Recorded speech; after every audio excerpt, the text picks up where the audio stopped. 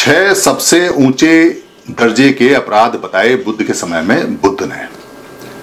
उन छह अपराधों की जो सजा है, वो बहुत भयंकर है, जो मनुष्य अपने पूरे जीवन में झेलता है। उसको अविची नरक भी बोलते हैं। अविची का मतलब है बहुत गहरा दुख, बहुत गहरी वेदनाएँ जो शरीर से निकलती नहीं है और काफ़ी दिनों तक वो चलती हैं, कई कई जन्मों तक भी चलती हैं और बड़ी तीव्र होती हैं। ठीक ऐसे जैसे पेट में दर्द होता है तो वो तीव्रता की वेदनाएँ होती हैं। अगर वो ऐसा हो जाए, पड़ जाए या किसी को सर में दर्द होना शुरू हो जाए और वो रुके ही ना तो इसको अवीची नरक वाली अवस्था बोलते हैं। ये छह जो कारण हैं या छह जो दंड हैं किस लिए मिलते हैं कि अगर आप अपने माता की हत्या कर दें या अपने पिता की हत्या कर दें तो आपको अवीची नरक में जाना पड़ेगा।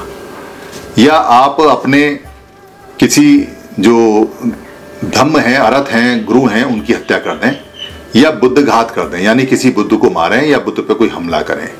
चार प्रकार से ये माता पिता अरथ और बुद्ध हुए, और दो प्रकार से इसमें आता है कि आप या तो संघ में भेद कर दें।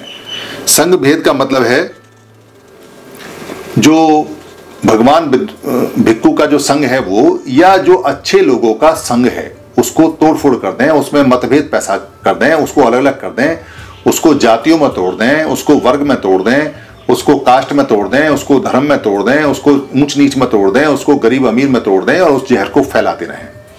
तो अगर आप किसी अच्छे संघ भेद में करते हैं संघों को तोड़ते हैं, लोगों के समूह को तोड़ते हैं तो उसका अवीची नरक में स्थान होता है।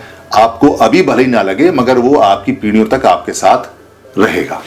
और जो छठा होता है, छठा होता है, अगर मिथ्या आचार्यों पर, जो आचार्य ऐसे होते हैं, जो झूठे होते हैं, उन पर अगर आप यकीन करें, यानी कि कोई व्यक्ति जो आपको ऐसी जानकारी दे रहा है, जो झूठी है, जो मिथ्या की है, जो पाप वाली है, अगर वो आपको हत्या, झूठ बोलना, लूटपाट, झगड़ा, शराब, अफीम, चरस, गांजा, या सुल्फा, या किसी का पैसा लेना, मारना, या फ्री का खाना, फ्री का पहनना, या बिना किसी को धम दान दिए हुए उससे भिक्षा लेना, खाना, अगर इस तरह का कोई झूठा आचार्य है, पढ़ाने वाला है, या ज्ञान देने वाला है और उस पर आप यकीन करते हैं तो वो भी आपको अविची नरक में लेके जाता है।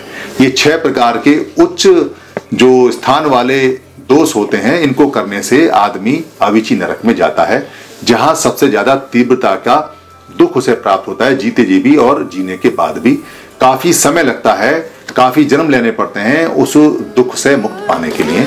धन्यवाद।